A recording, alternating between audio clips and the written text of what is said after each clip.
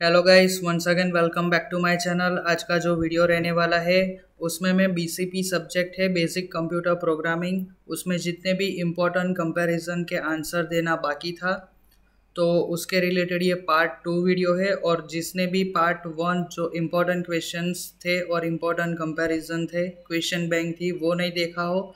And इसका answer का part one नहीं देखा हो। तो उन दोनों का जो वीडियो है, उनकी लिंक मैंने नीचे डिस्क्रिप्शन में दे दी है तो आप वहाँ पे जाके पार्ट वन पार्ट टू देख लेना।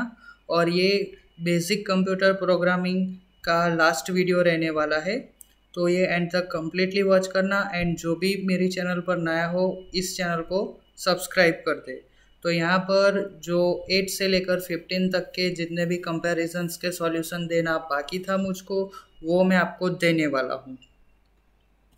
तो यहाँ पे पहले लोकल वर्सेस ग्लोबल वेरिएबल है। अब तो आपको पता चल गया होगा कि मैं आपको किस तरीके से याद रखा रहा हूँ। क्या करना है?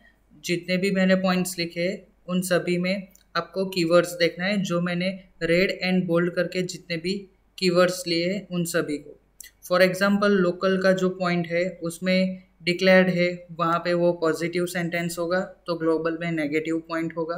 और ग्लोबल में पॉजिटिव होगा तो यहाँ पे लोकल में नेगेटिव होगा। बस इसी वे में आपको जाना है positive point negative point negative point positive point करके। और आपको क्या करना है कि जितने भी रेड एंड बोल्ड करके कीवर्ड्स लिखे, उन सभी का जो आगे का लेटर है, वो यहाँ पे मैंने नीचे ले लिया है। Student remembered it as a song है, ठीक है? ये जो आगे का लेटर है, उन सभी को मिलाकर मैंने ये सॉन्ग बना लिया है। तो इजीली आपका ये थियरी में भी आ सकता है कंपैरिजन में भी चलेगा। और कोई तीन चार मार्क्स में डेफिनेशन शॉर्ट नोट आई, उसमें भी चलेगा। तो ये ट्रिक आपको बहुत मार्क्स गेन करने में हेल्पफुल हो सकती है और शॉर्ट टाइम में आप काफ़ी ज़्यादातर पॉइंट कंप्लीट कर सकते हो।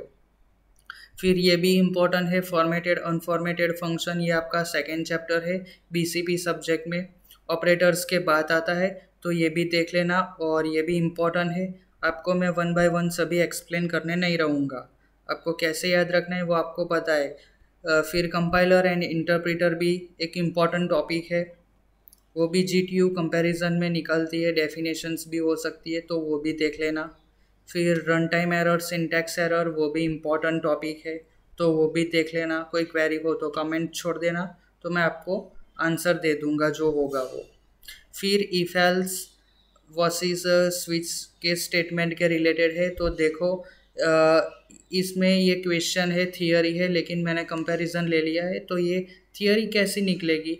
एक्सप्लेन इफ़ एल्स या फिर what is if else explain with it example तो आपको ओनली इसमें एग्ज़ाम्पल ही ऐड करना बाकी है।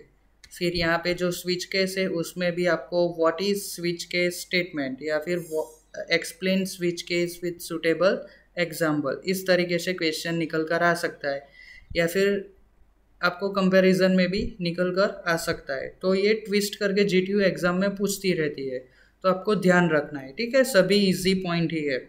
फिर बिल्कुल वैसे वाइल्ड डू वाइल्ड के रिलेटेड है तो वो भी देख लेना।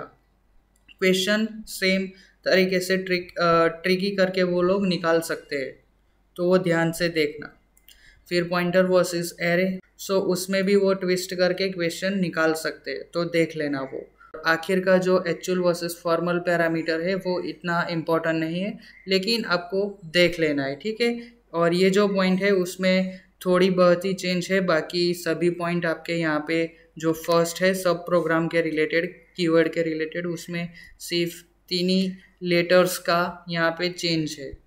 बाकी सब कुछ सेम रहेगा ठीक है? सो ये वीडियो आप आपके फ्रेंड्स को शेयर करना तो वो भी इजीली इस सब्जेक्ट में पास हो सके और उसको भी एक नई ट्रिक पता चले। सो आई होप गाइस आपने मेरी चैनल को सब्सक्राइब कर दिया होगा एंड uh, मैंने आपको इस वीडियो में जो भी ट्रिक दी जो भी आपको समझाया वो आपको अच्छा लगा होगा सब कुछ पता चला होगा। वीडियो को लाइक शेयर एंड चैनल को सब्सक्राइब कर देना। Thank you for watching this video